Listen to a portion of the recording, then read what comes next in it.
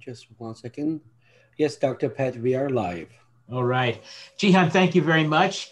And uh, welcome to our speaker series uh, class today, which we're also doing in conjunction with the speaker series of the M3 Center.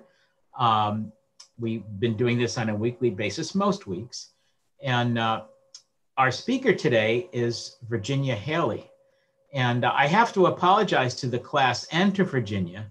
You know, normally, Virginia, this is your third or fourth time with us, I think. And uh, normally they have an assignment due on you ahead of time. But I'm Uh, so excited after the board meeting last week that I forgot to put the assignment up. And of course, did anybody say to me, you know, Dr. Pat, you don't have the assignment up here? Well, why would they? I don't blame them. and uh, so I just sent them an email this morning telling them it's okay, telling them who you were.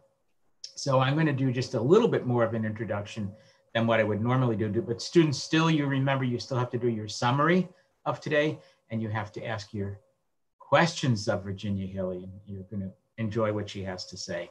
Akelia, can you turn your microphone on, your uh, camera on? So Virginia is not talking to black boxes. That's good. Okay. All right. Well, this is Virginia Haley. Virginia is the um, CEO and president of the uh, Visit Sarasota County. And if you recall, when Elliot Falcione was in here a couple of weeks ago, and Elliot and, and Virginia really have their purposes are similar in, in both counties, but they have two different types of organizations. And Elliot's is, is run by the county, basically. Uh, I guess the county and the city, I'm not sure, Virginia. I think it's the county just the county. the county. And Virginia's is, and I was on it until uh, last month. Uh, my term was over, or term or terms, I forget. I think it was two I might have served on there, was over. And um, uh, so Virginia, she'll explain it more to you, but it's it's really one that is a an organization that serves the county in many ways and uh, and promotes the county. Uh, Virginia is uh, also has a very good background in politics and political science. And after you talk to her and hear her talk, uh, you'll know why she's so smooth and, uh, and really good. Virginia just also finished a very important thing. She was the head of uh, the elected person, head of Visit Florida, which is a huge. So it is to Florida what Visit Sarasota is to Sarasota County. And poor Virginia had to do this through all this stuff we're going through, and you did a you really did a great job, Virginia. Well, In addition to being uh, somebody who can get things moving, Virginia is a constant. So she's a great leader, but she's also a terrific manager. Remember, we've talked about leadership and management; they're not the same thing. And Virginia does both very well. So she manages Visit Sarasota so that it, it uh, stays financially viable and smooth and does what it's supposed to do, but she inspires people with her leadership. So with that said, Virginia, I'm going to turn this over to you. And then if you can leave, uh, I'll remind you at about at about 1.30 to, to leave time for Q&A. Excellent. All right, let me, An audience out uh, in uh, in M3 land, uh, YouTube land, we will give you, to, you, you can write your questions to Jihan uh, and he will uh, pass them on to us. all right. And hopefully you are seeing my screen. We are. Excellent. Let's get this in a slideshow mode. Well, thank you for that compliment uh, and the lovely introduction, Dr. Pat. I we're really going to miss you from the Visit Sarasota board. Um, students, you don't know how lucky you are with the background and the people that Dr. Pat's worked with. Um, he brought a lot of that to our board and made us a much stronger, much stronger uh, organization. So I want to talk about two things. Um, the first, and I think this is what was given to you as the title, um, not surprising, who Visit Sarasota County is and what our role has been in our community's uh, COVID 19 response. And then I want to talk to you about another role that destination marketing organizations play in their communities. Uh, and that's really not only just being marketing, but the importance of managing a destination. And the same holds true whether you're managing an attraction, uh, a hotel, a catering company. It isn't enough to just market it, but you need to make sure that your product stays relevant to your customers. So we'll first talk about who is uh, Visit Sarasota, and I think I just went back a slide. We are a nonprofit corporation uh, formed about 40 years ago uh, with, for the sole purpose of promoting tourism in Sarasota County. Um, so we're, diff, di we're our model, which is a public-private model. So it's a private entity, Visit Sarasota, and we contract with Sarasota County government to do the tourism promotion using money from what's called the bed tax, the tourist development tax. Let's keep rolling. We're uh, 13 people, 13 uh, folks on the staff. Uh, we've lost some uh, positions that we had to leave open and we had to do some layoffs back in March. Uh, and we have more than 40 volunteers who work with us. And I think one of the things that's very important about my organization is um, my employees, those 13 people, work on more than 30 different civic organizations.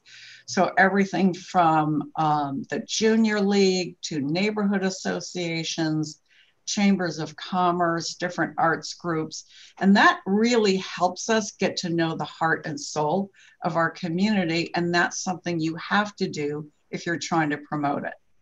Virginia, ways, may I interrupt you for one minute sure. too? Uh, I just, uh, we want to give you a note that what we're seeing is the presenter's view. You, you might want to. Oh, oh, thank you. We don't want to ruin your show for you, Virginia. so we can see the Stop next slide. share and do the right one. Yes. Yeah.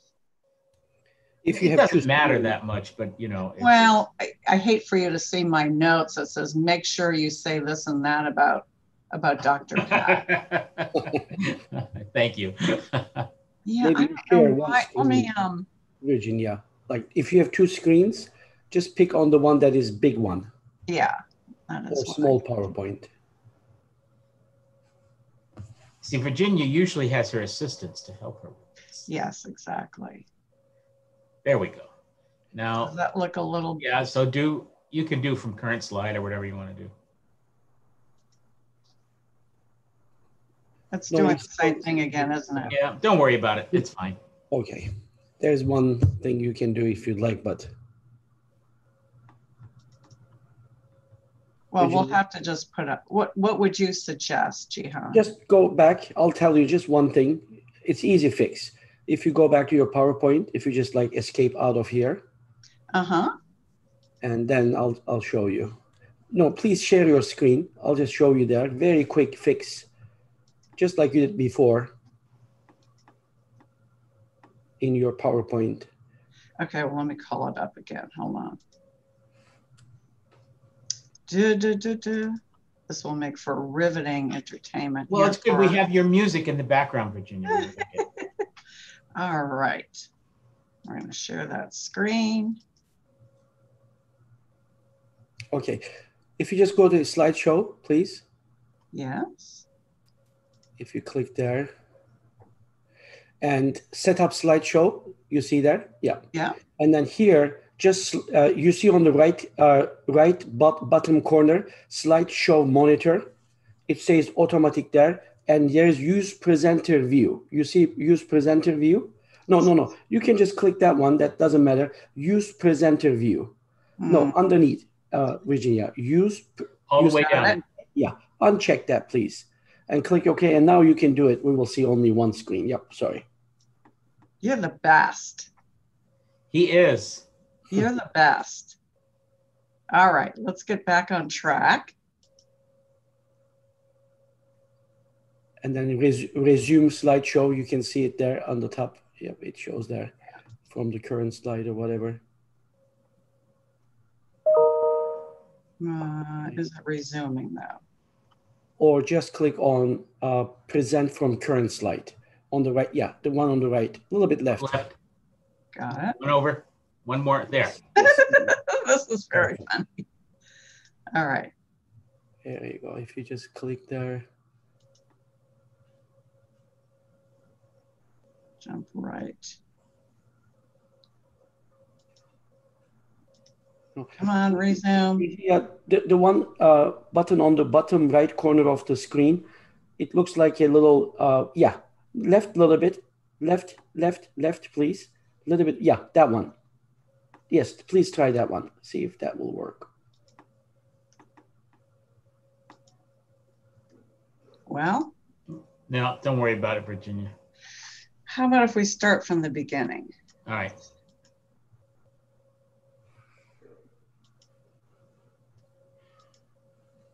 You know, can you go back to that slideshow setup? Oh, something happened here. I don't know. I don't know what happened. Well, I can at least, oh, here we go. I'm approving. Okay, just give me one quick second here. Thank you. Yeah. Well, let me tell you a little bit about what it is we do. So we touch visitors um, in a lot of different ways. We talk to them about coming to Sarasota on vacation. Um, we establish relationships with meeting planners um, so they can bring their meetings or conferences to Sarasota. We work with sports organizing committees and even Olympic level uh, sports organizations to bring large sporting events to town. So we really work on a spectrum of different uh, parts of the tourism industry. And we like to think of the travel journey as, as really a cycle, particularly in terms of leisure visits. You know, so you have that sitting back, dreaming, saying to yourself, oh boy, I need a vacation. Um, and then you start to, you know, you hear about someone who went somewhere, you saw their pictures uh, on Instagram. Um, it could be a whole different variety of things. Um, but then maybe you're getting closer to your decision. You're starting to actually look at places, you're looking at destinations. Um, then you're actually in the planning cycle. You've decided Sarasota is where you want to go. You're double checking to see what events are going on, what kind of hotels do they have, uh, and then finally booking, taking your vacation. But really, the work still continues. Once you get to a vacation destination, you have to have a great time. And of course, when it's over with, you're bragging with all your friends and family about a great time you had. So, really, our job is to be at every one of these points in the cycle with the appropriate message as to what part you're playing. And that's true if you're planning a vacation or if you're a meeting planner uh, who's perhaps looking uh, at where your next conference is going to be scheduled. So we have to be at every step of the way um, understanding what those decision points are. Um, we know that we have a very, uh, I'll say a little bit about me. Um, you heard the basics from Pat, but you know, with this job, I've had it for 20 years. I've literally gone around the world uh, with this position, um, helping to promote Sarasota at different events, um, representing us around the US, everything from Google headquarters Facebook headquarters to um, you haven't traveled until you have to take um, circus performers with you on the road uh, to promote the Sarasota circus heritage we have.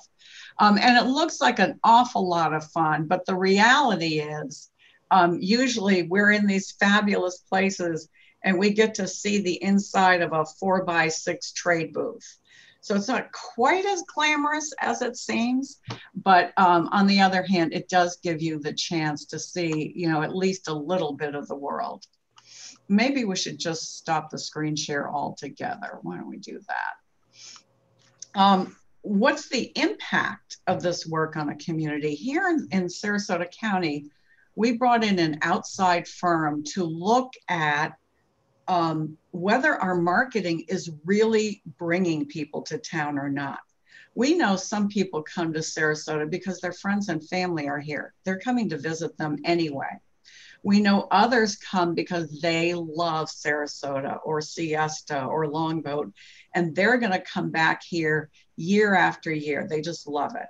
So, really, are we driving visitation, new people, people who wouldn't be here but for the work we're doing? And the answer is yes. It's about one third of all visitors who come are in response to some kind of message we have out in the marketplace. And then for every dollar of this tourist tax that's invested in Sarasota, it brings Sarasota County back about $4, almost $5 uh, in tax co- that goes back into their tax coffers. Um, last uh, in 2019, our um, total economic impact was about 3.1 billion. So this isn't play money; these are real dollars. It's very important to our economy, and our um, budget uh, that we have to do all that uh, for this year is 4.3 million dollars. Now that's down by a third because of the uh, downturn in tourism due to due to COVID and some other political reasons, which Pat knows all about. Oh, yes. Virginia, before you go on, you know what? It wasn't a distraction for you to, to share the slideshow the way you were. That's fine. And then, oh, okay. You the, could see it? Yeah, yeah. We'll have the oh, visual. Oh, oh I'm sorry. It looked yeah. like it was frozen. No. And then we'll have the, I think you got to have to advance them manually, but that's, that's fine.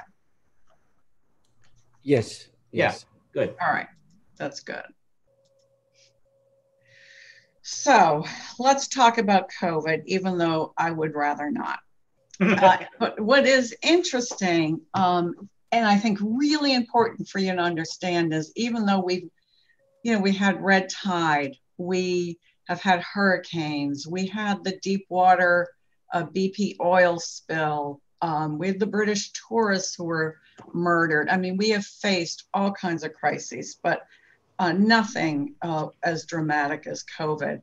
But you know, in the end, our response to COVID is the same as any kind of campaign. It's really no different than if we were planning our summer family beach uh, advertising campaign because it starts with our customers. First and foremost, we really need to understand in this life changing event what our customers are thinking.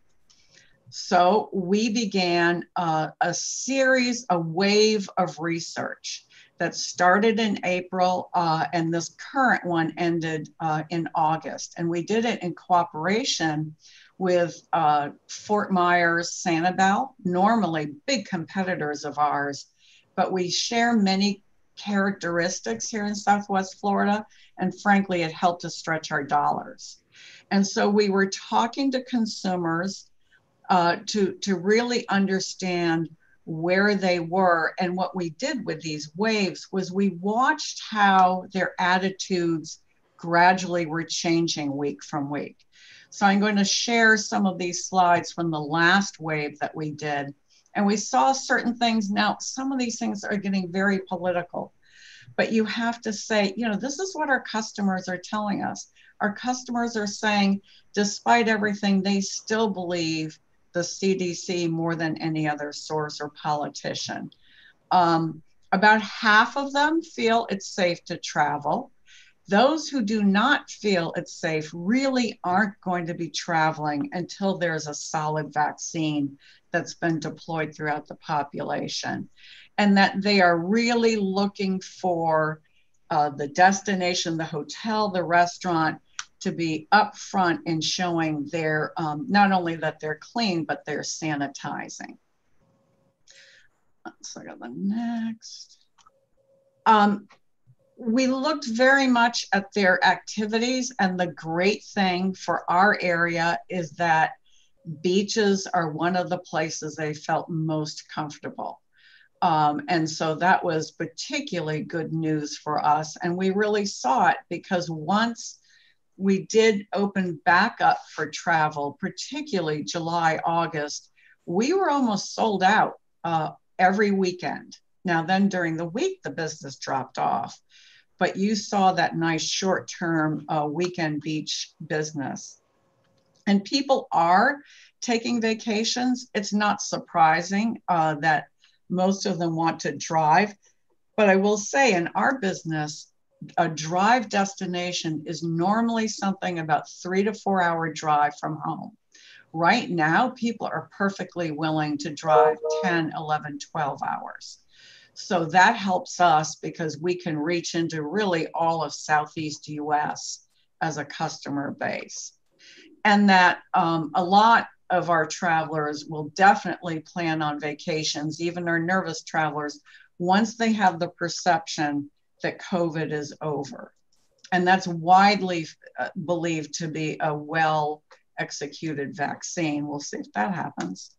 Um, some of the key takeaways is we still have a lot of interest in Southwest Florida. Uh, that interest has increased, um, but you know you still have to worry about the safety issues. Um, you're you're seeing some customers having resistance to travel, um, but most potential customers, even those who are nervous about travel, are starting to take a look at travel messages, travel articles, travel stories. Again, a very good sign for future travel. Um, two important things on this slide. The second bullet, um, there's a huge household financial impact.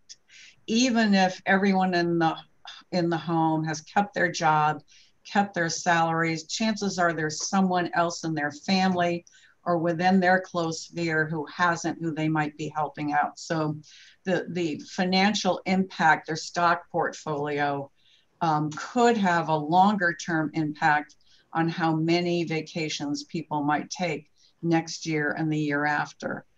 And then a very tricky thing for Visit Sarasota to navigate is the last bullet seven out of 10 do not want visitors coming into their communities right now.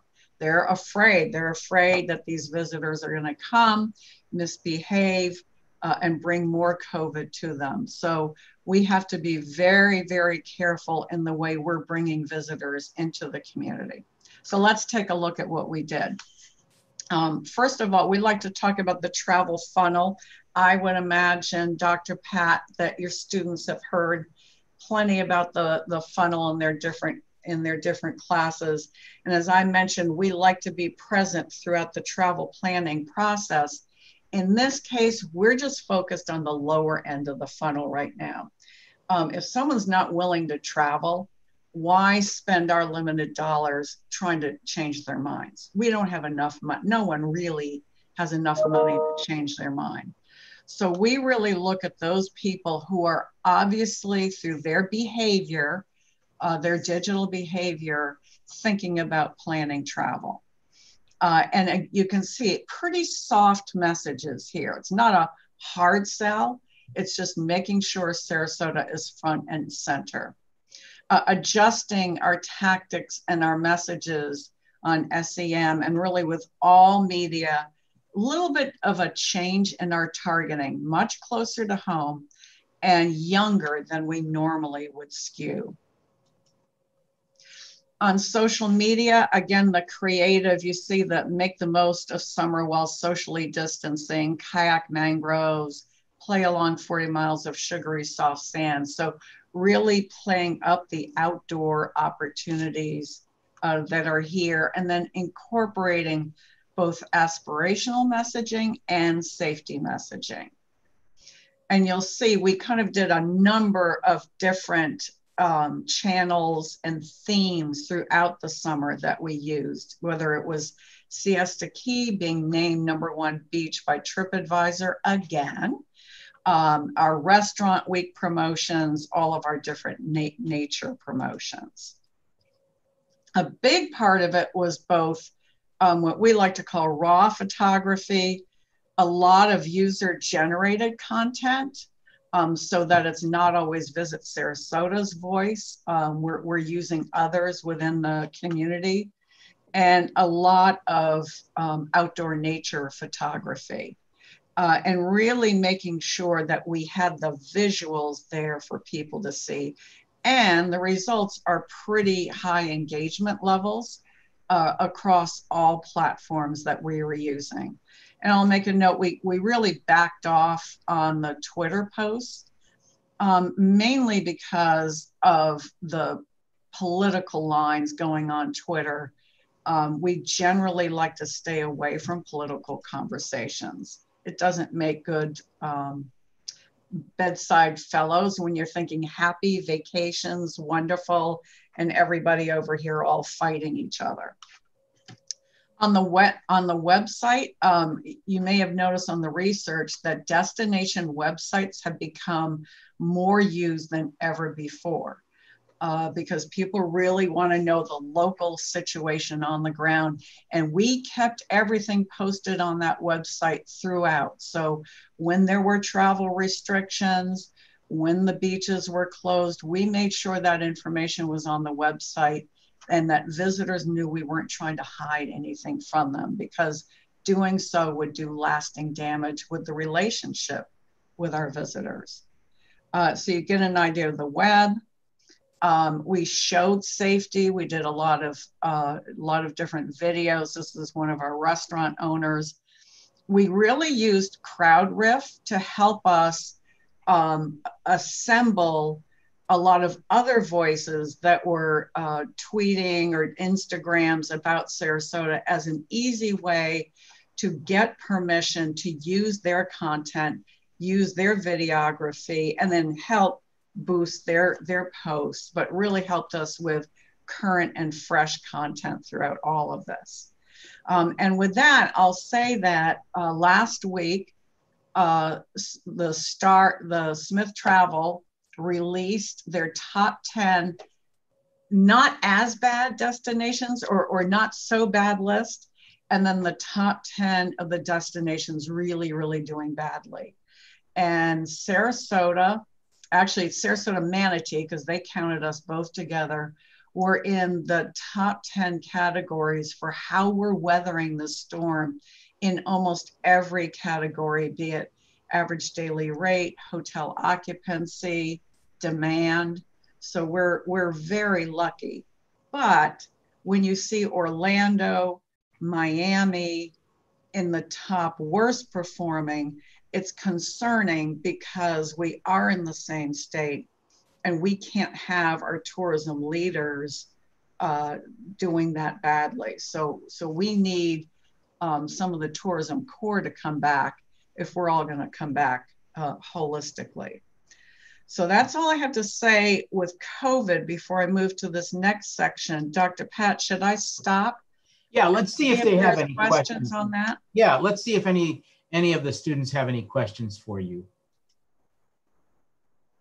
Anybody? Well, Sid, you look like you're going to say something. Are you? No? No, okay. Not sure what to ask right now. Okay, that's fine. Seems okay. pretty clear and similar to some of the yeah. things the last speakers have said. Virginia, if you could just clear up two things. You had a slide earlier on with SEM. Maybe you want to tell them what SEM is. Oh, so we have, let me get somewhere is it?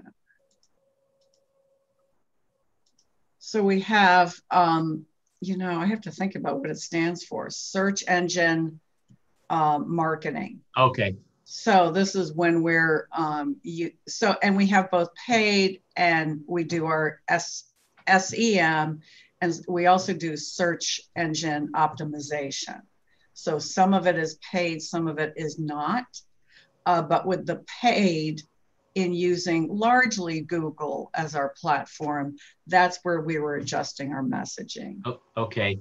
And uh, um, Virginia, the other one that I hadn't heard of, the students probably know about it, but CrowdRiff, what, what is CrowdRiff? It's a really handy tool. Um, CrowdRiff aggregate, you basically go into CrowdRiff and say, here are um, here are some things that I want to trend.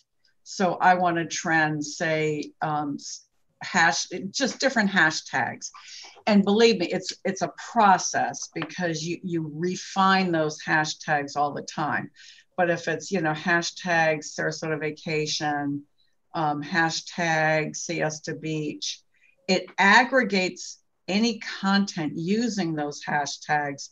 So in the morning, we can open up CrowdRiff you see everything that's been posted with those various hashtags. And it has a really easy way to go back to whoever posted and ask permission to use their content.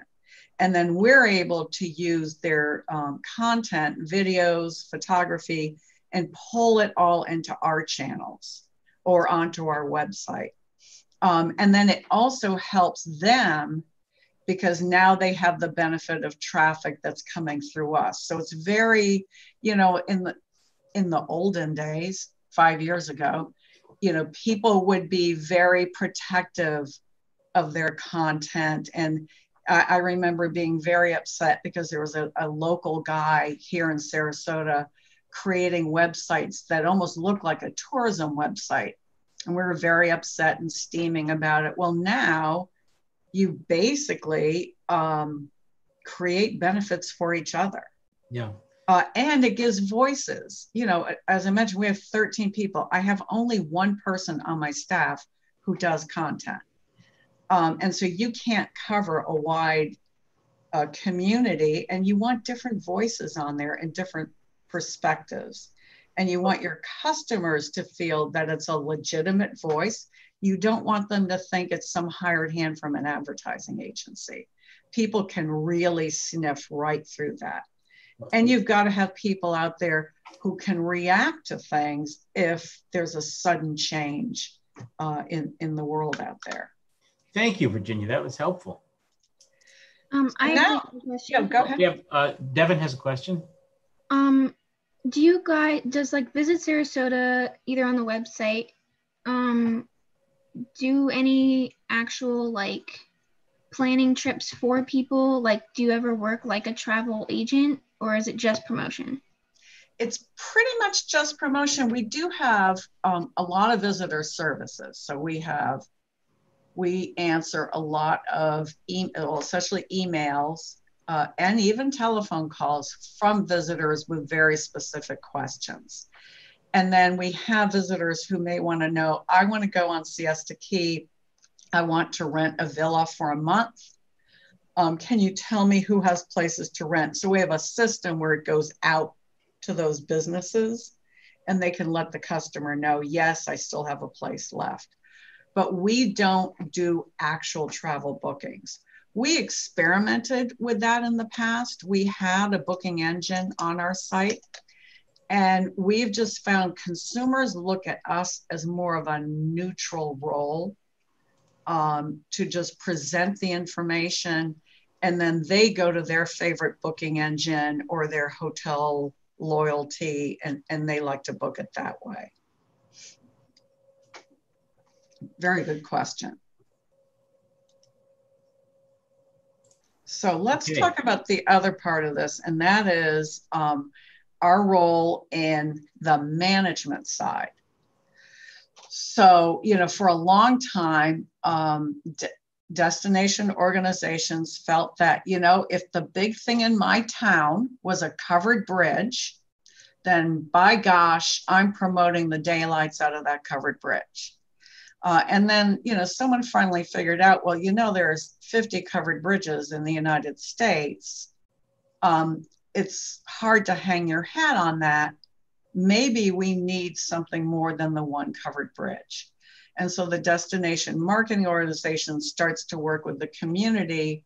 And lo and behold, they may now have the world's largest peanut for you to enjoy. But that's the very simplistic view. What we did here in Sarasota was looked at Sarasota's bayfront around the purple Van Wezel Performing Arts Hall. And if you look at all the acreage, and it's funny how outdated this photo is now, um, particularly the core 42 acres city owned property on the bayfront. And who has the best view of the bay? It's your car in the parking lot. Or maybe if you're lucky, the crew that's loading the show in on the loading dock of Van Wezel. So you've got this gorgeous area on the bay that's all paved over. Uh, and other than going to a performance, there's not really much of a reason to be there. And so, seven years ago, next week, uh, the Visit Sarasota Board of Directors said there has to be a better vision for this. There has to be an opportunity to make a destination public space for visitors, but just as important for those of us who live here.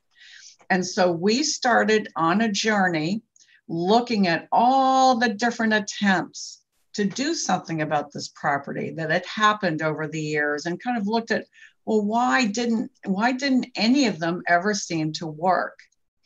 And started having conversations in the community. In the first two years of this project my board chair and i held 300 meetings uh, one-on-one meetings uh, meetings with community groups neighborhood groups cultural organizations civic groups and in the end, I think wound up with an army of 65 different organizations joining us and saying to our elected leaders, we think that there's a better vision for what this Bayfront could be. And we did a lot of learning along the way. This is the, the vision for the Brooklyn Bridge Park, which was uh, an industrial site uh, facing the most gorgeous view of lower Manhattan you've ever seen. Uh, and they use these principles of community building and really laying out what the park, what the public park space should be, and then sticking by those very important principles. So we spent another two years reaching out to the community and really understanding what did people want. And they were suspicious why is the tourism organization running this? Why isn't the government running it? What are you really up to? So, a lot of it was building trust with people in Sarasota who, different groups who over the years have fought with each other. And they had to really learn how to work together. And then we tried different ways to reach out to the community. My favorite, you see this uh, picture up above we uh, did a listening planning session uh, at J Dubs, the brewery, in their outdoor garden, and everyone got free beer. So you can imagine we got a pretty good turnout. uh, we did a, a Newtown after church Sunday supper. Uh, so we got different voices involved with the whole planning process and identified, and there's a lot of detail behind it, six things that were really important for the community and this is our rock.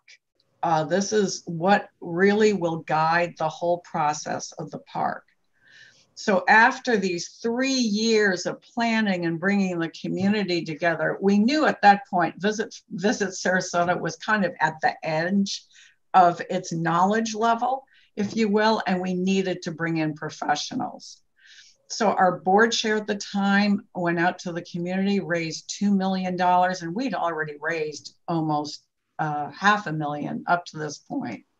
Created a new organization to um, actually begin a master planning process. And we were so lucky that the former uh, CEO of this little company called Procter and Gamble happened to retire here in Sarasota, and he's become our chair and we retained a, a nationally prominent firm, Sasaki, to help do a whole nother round of community uh, building process. And from that came up with a master plan for the site.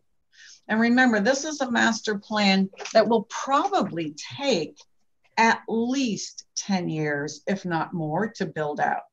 So we're really thinking about your generation and the generation after it will see the benefits. Um, and you'll see that you see the current Van Wezel. This is a future performing arts. This opens up the current boat basin to more pedestrian enjoyment and then move the boat basin a little bit farther to the north. Um, and even since the development of this master plan, there have been some changes. Let me go back to this so you can see. Whoops. If you look to the top, you'll see there's a straight pier going out. And one of the things we knew we couldn't build it all the one all at once. So the area along Boulevard of the Arts is really the very first phase. And what's good about this is it's the part of the land that has the most nature on it to begin with. So we had some really good features uh, to begin with. And one of the things we decided in designing it, I say we like I designed it, but instead of a straight pier, the new design is this curved sunset walkway. Why? because we actually found living, thriving corals in that part of Sarasota Bay and seagrass. So we, first of all, did not want to do anything to disrupt those corals. But secondly, it becomes a fantastic teaching opportunity. The other thing we're doing is right now, all the water from that part of Sarasota flows through this parking lot and dumps right into the bay, totally untreated. It comes off 41, all the oil, the dirt, the grease.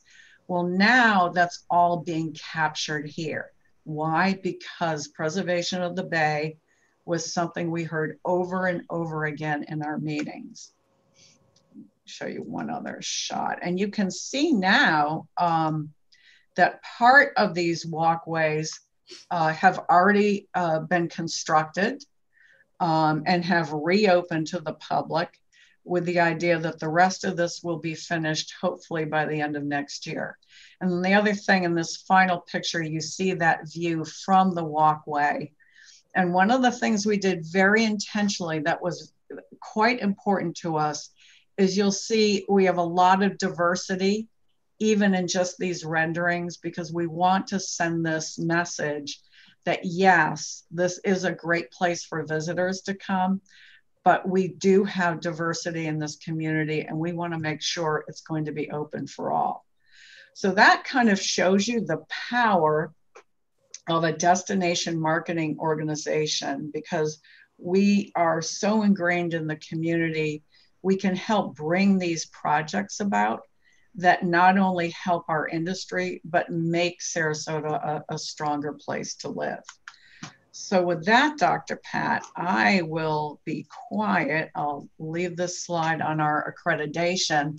Just as you were recently accredited, um, we have our accreditation from our international body, and I'm really excited to say we are accredited with distinction um, because when you're using public dollars or you're in the public, you really always have to show that you're open, you're transparent, and that um, you're very, very respectful of the tax dollars.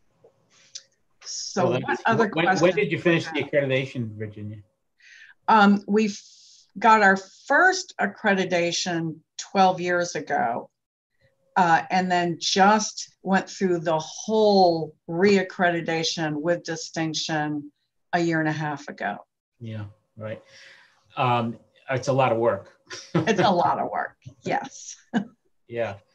Okay, well, let's open it to the students first who are in the class, and then we'll open it to the audience at large. So, students, anybody have any anything you want Virginia to expand on or you want to dig I, deeper into, or go ahead, Bo. I have a question. Um, how how long do you think this project will take? And honestly, so what are you? How are you guys going to clean up the water in the bay? I know you said that's important because I I just launched a boat at the 10th Street ramp the other day, and that area specifically, it's just brown mud. The the water is very dirty. So I, I mean, I love the idea. I love the look of everything, but it, it would just have we'd have to do something to clean it. So in this first phase on the southern end by the Hyatt, and there's a little, I think you see the picture of it. Hold on. Let's see. No. Yeah, there's uh there's this waterway and it was completely there's the little um, bridge that goes from where G.WIZ used to be over to the pedestrian bridge over to Van Wezel. This is all completely silted in, like that whole shoreline. Yeah. So um, the the um, the engineering company working on this um, did a very careful dredging to remove the silt and just the amount of junk that's in there and caught up in the mangroves. There were a lot of Brazilian peppers and exotic plants intertwined with the mangroves. So getting those all out of there and then building swales throughout that whole project so the water's retained and filtered on site before it moves out to the bay. So then each section over the years will then get their cleanup and treatment. But it, as I said, it is, it's at least 10 years.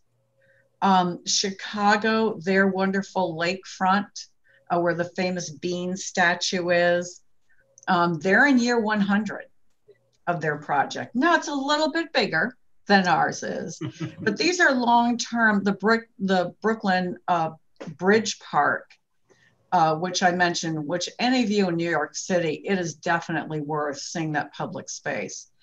Um, they are now they're now working on their next to the last stage, and they've been at it for 20 years. So you you do have to. Um, there's a gentleman who was head of the uh, Vancouver uh, destination marketing, Visit Vancouver, and he used to say we need cathedral thinking. We need people who understood that if you were the stonemason who started to build one of those beautiful cathedrals in Italy, you will not see it finished in your lifetime, but your grandchildren will. Uh, and, and we just think in community building, there are some things you can do for the right here and now um, our work on the civil rights trail is an example of that. Not a big, heavy lift, and we got it done in two years. But something like this, you're thinking 10, 15 years. Um, and it's a lot of money. Um, you know, you're talking hundreds of millions of dollars, especially the, um, the new performing arts facility.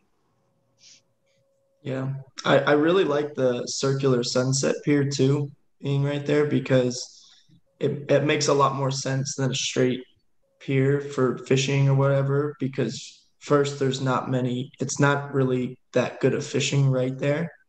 Right. And and then people don't have to fight over a spot to watch the sunset. You've got a a broad a long stretch of area where people can sit out there and relax and enjoy the sunset i like i think it's a pretty cool concept overall yeah, we're we're really happy with it. And one of the important principles of this park is whatever activity is happening, um, be it you know a yoga class or what what salsa lessons, um, that they must be free for the public. Now, obviously, the performing arts hall won't be, but but that there are other great parks um, there's one example in Cincinnati that all the programming is always free. They find sponsors for it.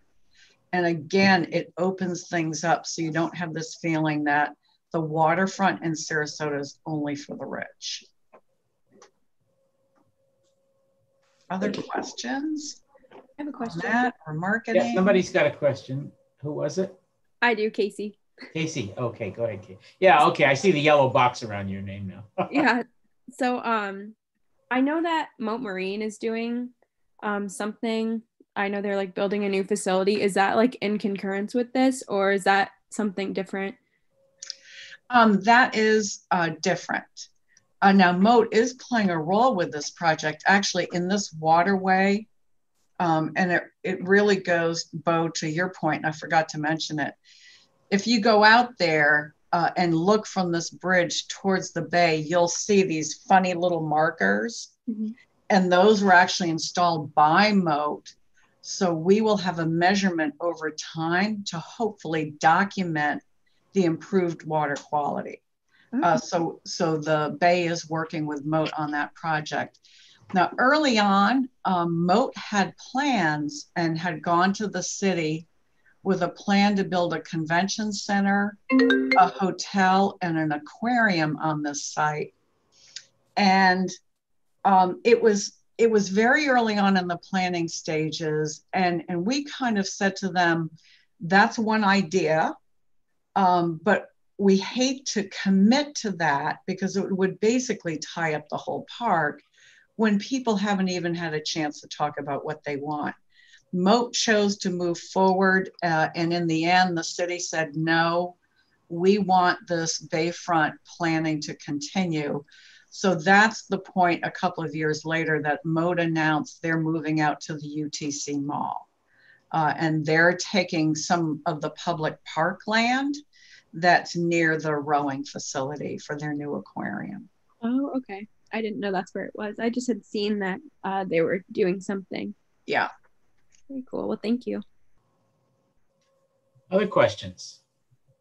Virginia, let me just uh, uh, ask one. And, um, you know, I have to say, I mean, I've, I've been here almost five years now, and I, I don't know that I still completely comprehensively understand uh, what the feel of, of this Bayfront Park is supposed to be. So is it, maybe feel is the wrong word, some of the objectives. I mean, it's so, you mentioned for locals certainly to enjoy it. Um, but what are, what are some of the other things you envision happening in there, Virginia? Well, first of all, as you could see, there's you've got a lot of public green space, so you can do different activities and events which right now we're really constrained uh, near the downtown core for our outdoor events anymore. As you know more and more of what used to be vacant lots now um, have buildings on them. So you see everything from you know outdoor amphitheater walkways.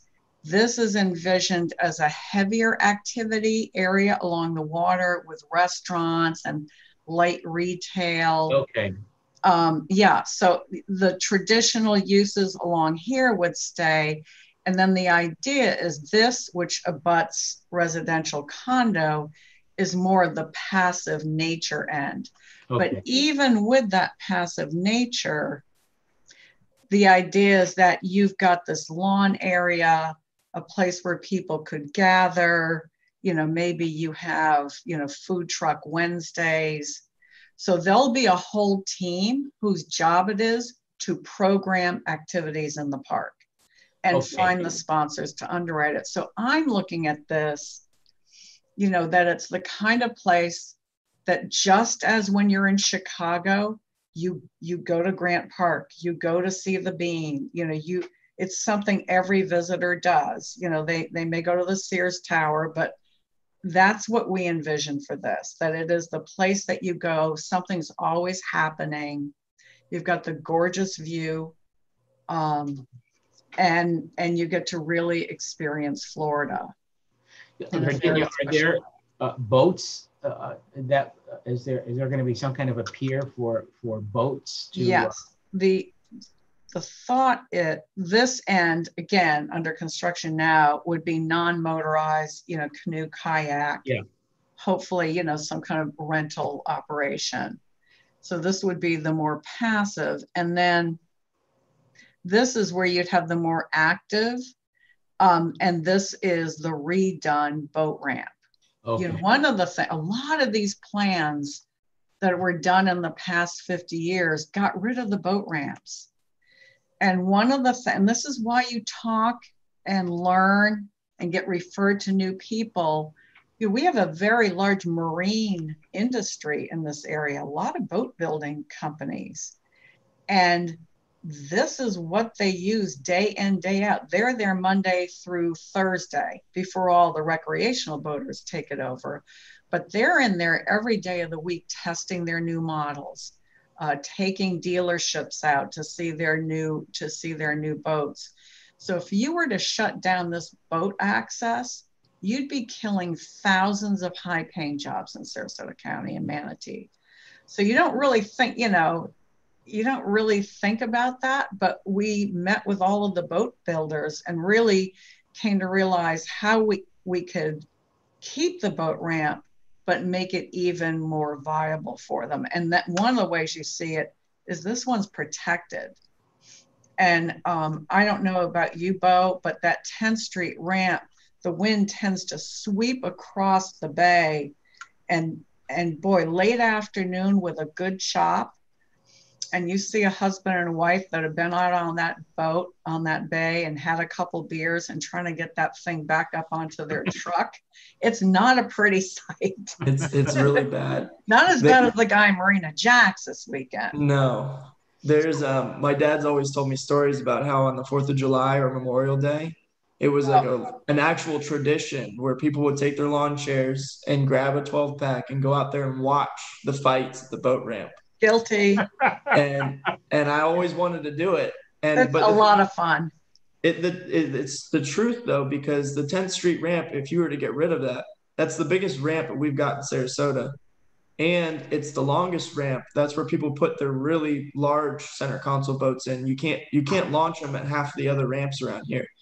It goes out into the water. The ramp itself goes out into the water like 20 or 30 feet, which is longer than most ramps. So, yeah, keeping Yeah. that ramp with all the marine builders in Sarasota and marine mechanics that use it every day to make sure their boats are running right, you you would be killing a big industry. Yeah. So I like Well, that. and the idea, even if you could launch a large boat from Ken Thompson, the idea of having to um, trailer your boat through St. Armand Circle is just a, it's a nightmare. No wants to Yeah. do it. Mhm. Uh, Virginia, could you, before we move on from this topic, um, would you use your arrow? So I see uh, the uh, Van Wezel is the purple building there, right? Right. Yeah.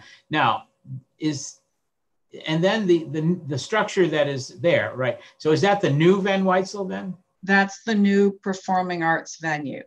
Okay. And, what And they are, they are kind of just starting. Um, actually, there's a big community survey out right now with starting to think about the programming, you know, what the building should look like. Should it be one theater and a black box? It, it- all that kind of things Right. going on right now. And what would happen to the oh the old purple Van Wezel Theater? Um, so far, it has been uh, an incredibly strong voice from the community not to tear it down. Um, what it would be used for is going to be a very interesting conversation. You know, one of the first ideas was do you get rid of the um, the tower and the you know the backstage area the offices and open up the shell part to maybe open air performance space uh, and they took a really good look at it well because the shell faces the water uh, and remember it was built in the mid 60s um, the concern is that even in a tropical storm it would flip that thing right over Hmm. and you'd have concrete blowing all over the, the bayfront. So, so you would wind up having to rebuild it in order to make it strong. You know, it's not, you know, it's it's an asset that sits a mere 20 feet from the water uh, at a time that you have to worry about sea water, sea level rise. Right. So I think that's so for right now, it's there. Um, in what way it will be repurposed, who will take on the job of repurposing, um, we're just going to have to see. Well, And you know, that's true. Some of these projects, Brooklyn Bridge, um, they had plans for pretty much most of the park, but at the end of the park is this massive building, huge building that was where the, um, I think it was Jehovah's Witness always published a weekly um, bulletin that was very popular and they produced millions and millions of them every week. 18 wheel trucks would drive into this building. That's how massive it was. So it was a printing plant. Um, so it's now just being renovated. Okay. And, and of course, I think it will be condos or something. So some of these things, it just takes a long time for people to figure out, okay, what is it we're going to do with this? and I I would like to point out to, to the students and anybody else who's listening, um, the uh, sensitivity, the balance, and the alacrity with which Virginia answered those questions. You see, so so you can you can read into the answers, but on the other hand, she leaves things open, and that's a very political sensitive thing. I like that, Virginia. It's, it's good. We all can learn. Uh, Virginia, before we we open it for we get off the topic of this, uh, this is a little bit related to it. And having spent now the last four years with me on your board, uh, thank you for that. Uh, but you know what is near and dear to my heart when we talk about the major demand generators for for room nights in Sarasota, and certainly tourists certainly whatever commercial activity we have. But you know, that third one for me is groups and uh, groups. conferences and whatever.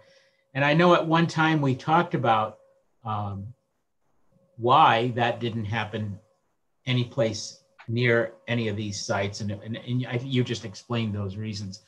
What is your thought, Virginia? And I don't mean to put you on the spot, but what is your thought? Do, do you think that we're going to fulfill group needs, group meeting space needs, solely with building in the hotels? Or are we going to eventually have to figure out some kind of a common uh, spot? and students what we're talking about is the hotels any most hotels are always going to have meeting spaces and, and, conference rooms but if you want to get larger groups in you need a place where they can they can meet together for plenary sessions and, and have exhibit halls and that kind of thing uh, i never pinned you down in our meetings virginia but i'll, I'll ask for your opinion now well I, I think we can certainly show the business prior to covid um, that we can't even go after because we don't have enough meeting space. Um, and I start to talk to meeting planners and say, well, listen, we could fit your meeting in.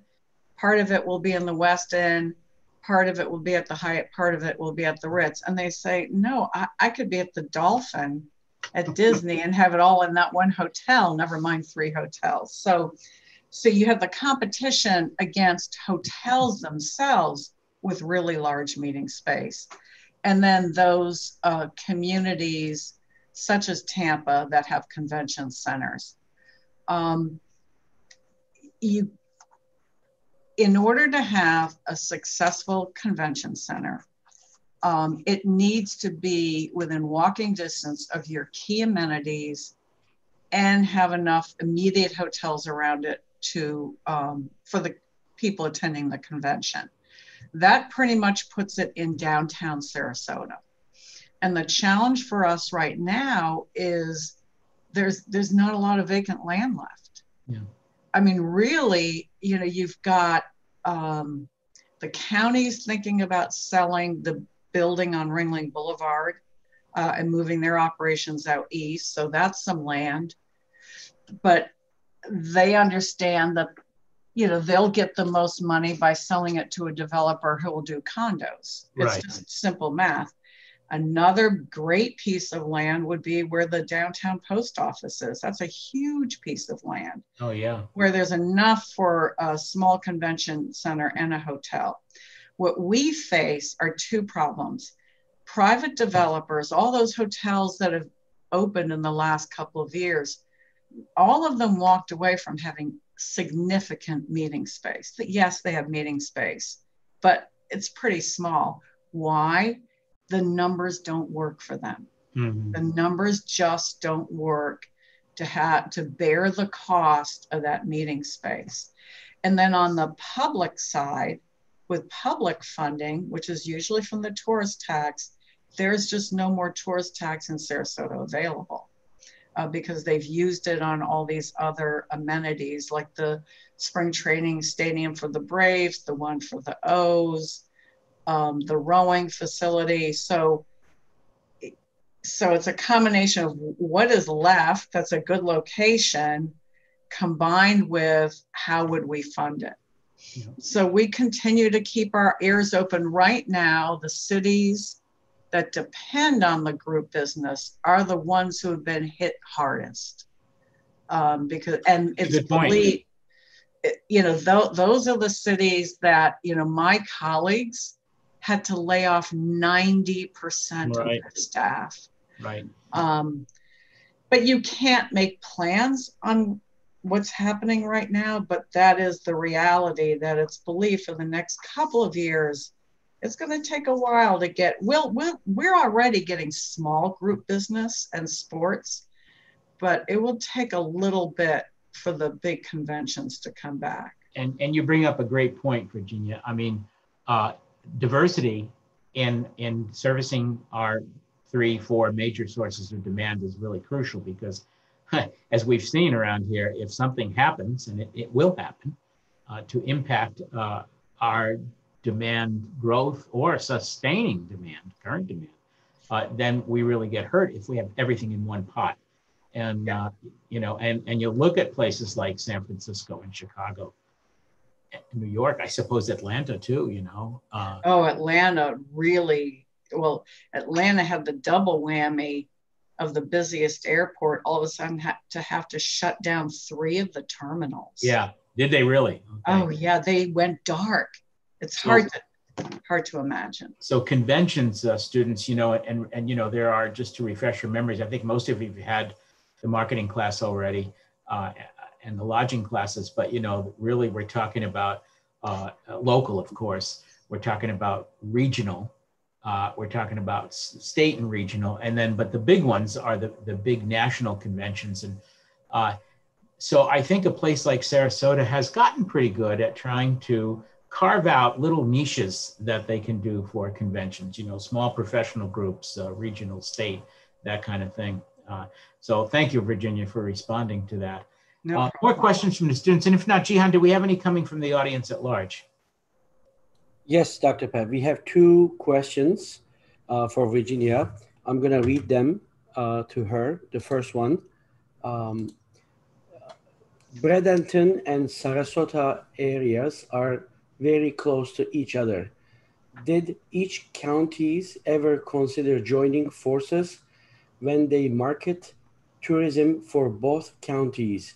How could this benefit or not? Um, we we do market jointly at times and at other times we kind of go our separate ways because even though we're close to each other in our core essence our brands are a little are a little bit different um, but we do do a lot of joint marketing. In fact, we do it with our colleagues along all of Southwest Florida. So there are times that um, we've done some really successful campaigns with Sarasota Manatee, um, with airlines, um, such as Allegiant. All these new flights that are in uh, our airport over the last couple of years are there in part because Sarasota and Bradenton and Manatee County are equal partners in marketing campaigns with those airlines. We do a lot together internationally. In fact, we share the, um, although we have to let them go, the same PR and rep firm in the UK. Uh, because again, it makes sense to market us as a region. We go after a lot of large sporting groups together. But remember, we also do a lot with Charlotte County to our south. Um, so Sarasota goes all the way down to Englewood, um, Northport. Northport is the largest city in Sarasota, which really? I bet used to, yes. Northport is the largest city in Sarasota County. Many people think it's Sarasota. No, it's Northport. Now they generate less than 1% of the tourist tax, but that's just for now. We have a hotel finally opening there. Um, so Jihan, it, it really, it depends on what the project is, but we do an awful lot together. Um, and for that reason, because it makes a lot of sense. And we do a lot with our partners to the south. Great. And there's one more question. Can I ask you quickly? There is a comment. Can you hear me? Yeah, we can yes. hear you. Okay, yeah. yeah. Thank you very much for your presentation, Ms. Virginia Haley. I'm from Turkey, and in Turkey, people always find DMOs and their projects not very useful in the beginning. And then she asked her question. You mentioned in your presentation that you had a lot of meetings with people for about three years. Did they change their minds after these meetings? Do they believe in your project now? Um, I think the answer is yes, and there'll always be opponents to any project. Um, but the reason for having those meetings early is every time we had one of those meetings and we heard ideas, they got wrapped into uh, the guiding principles for this project. And while while some of the groups maybe didn't see their exact words, they were able to go through these principles and say, "Oh yeah, that's the one we talked about. This is the one that means a lot to us." So it, in the past, what would happen is you'd have these design firms and consultants come in and come up with the design and the ideas, and they were often very cool, uh, and then try to go convince the community. We went the other way around and said, "What would we made them the consultants? What what do you want in this park?" And then we kept going back to them each step of the way. Uh, so they felt that they were, I mean, there was a lot of pride in this, uh, that people felt like uh, people always come up and say, Hey, I remember I was in one of those very first meetings.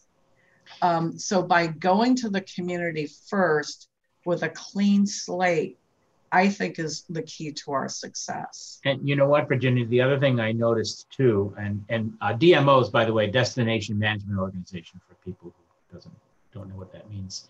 But the other thing that um, that I noticed, you know, from my time with you, is that you had champions from the industry. I'm thinking of Michael Klauber, for example, as one example. Uh, Saunders, all these people who who were very, you know, powerful locally, but who really did a good job in in gathering people to come and discuss this and and eventually come up with a plan. You know, so I think that was important. So, so really, I mean, it wound up being um, almost what I would call classic community organizing. But yeah. yes, you had some early believers who were, you know, very, very passionate. And, and we were lucky. Yes, people like Michael Klauber, you know, one of the best known business people in our community, but also the woman who at the time headed the coalition of all the neighborhoods uh, oh. which generally is viewed as an anti everything, which is an unfair description, just as developers are unfairly lumped into one group. Right. Um, she was an early believer and an early champion, and, and we were very lucky in that way. Well, that's great. That was a really good question, Jihan. Well, yeah. I want to thank our audience at large, and I want to thank you students again today. I have to tell you, Virginia, my takeaway for the day cathedral thinking. I had never heard that before. I like it. And you know, when I travel around Italy, I think about that. And and they'll people will tell you, oh, this took three, four generations to to build. And so uh, uh, but people did it with care. So that's that's really cool. Thank you. I like that term, cathedral thinking. Thank Virginia, you. I really appreciate that. I, I wish we had more time. I'd like to talk more about Snowbirds returning. Uh, I had a phone call last night from our across the street neighbor who are snowbirds. Well, they're afraid if they go back up to Syracuse uh, after having visited here, they'll put in quarantine. So I, I told them my view on that. So, so uh, it's uh, it, it's wonderful, Virginia. I can't thank you enough, Virginia. And you know what? I students uh, look at what Elliot last week. Two of our really complementary speakers on our board panel were Elliot and Virginia, two different kinds of organizations, but both both with common purposes to them. So, uh, and he he led out with you as the first person he, he questioned Virginia, which I oh okay okay kind of, cool, you know. So Virginia, thank you. Everybody, uh, open your microphones for a second. All right, everybody, open your microphones. Let's give Virginia a big hand. Thank you. Thank you. Absolutely and then uh, Virginia, we'll we'll uh, we'll look forward to this again uh, next fall, uh, next spring. I mean, I hope I can talk you into it. Of course, and Dr. Pat. In the meantime, if your students ever need something from us or have questions, you know to send them our way. We love to help. We always loved having interns, which hopefully will get everybody yeah. back once we reopen the office. But if, if you guys ever have questions, you let us know. We'll be happy to help. And that often happens, Virginia. I get all the time. I get requests for email